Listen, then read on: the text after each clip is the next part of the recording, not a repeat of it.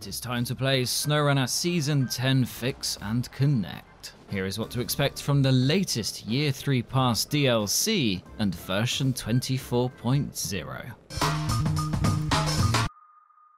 Hello and welcome to a tribe called SnowRunner Season 10 Fix and Connect has pulled up into town and is available to purchase separately on console and PC. Or get the Year 3 Pass and have access to all four seasons of Year 3 DLC. Your call. Quick note, if buying any DLC or games through the Epic Game Store, help the channel by entering a tribe called Cars with no spaces at the checkout. It would be much appreciated. As part of Update 24.0, we have a number of new things released within and alongside Season 10 Fix and Connect. One is the PROS service, short for Prism Ray Online Services, which provides saves between PC, Xbox One, Xbox Series XS, and Nintendo Switch. What about Sony? Well, it is not mentioned in the Saber forum post, nor the PROS website. Could just be a timing thing. We shall see. For those who want to, you can sign up to PROS, then press F5 or equivalent,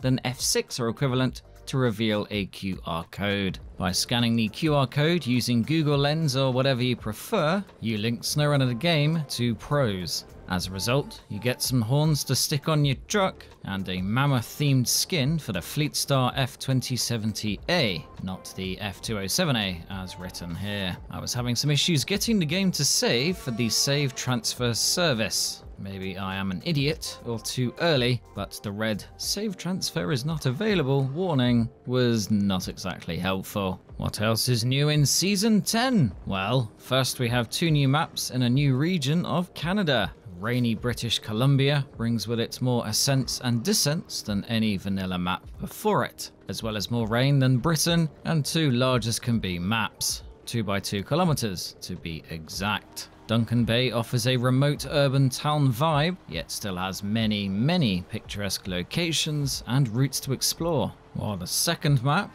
North Peak National Park, is where you would go to see if Bigfoot is a real thing. Expect to launch a boat, repair a ferry, provide water to fish, clear up multiple disasters, avoid falling down waterfalls, and laugh at how rude Uncle Fishmill's name could be with just one letter change. Oh wait, Family Channel. The theme of 2 continues with the new trucks, of which we have the Mack Defense M917 multi-purpose all-wheel drive on and switchable diff lock cruiser, and the gigantic, versatile and slow Kenworth 963. Both brands are new to SnowRunner in an official capacity. All players, not just those with the Year 3 pass or Season 10 bought separately, benefit from a new big crane. For picking up bigger things and new stickers, you can snap all over your preferred steeds. Though not every bug has been fixed in SnowRunner Update 24.0, the patch notes reveal a fair bit of adjustment. For starters, the ZIX612H Mastodon now has a fixed offset for large trailers, fixed steering wheel rotation, a new transport platform, big crane, improved lighting, and more. The Derry Special 15C177 and ZIX566A also had some improvements, while New Game Plus mode has seen some big rule bugs ironed out, including ensuring upgrades found on the map are installable. Unfortunately, those Xbox co-op issue fixes are nowhere to be seen, but other changes include removing various visual glitches,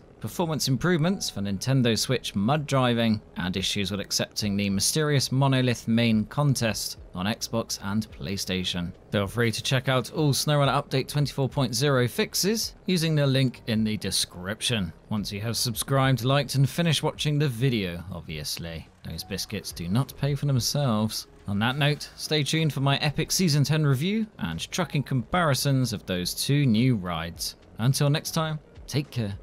Bye.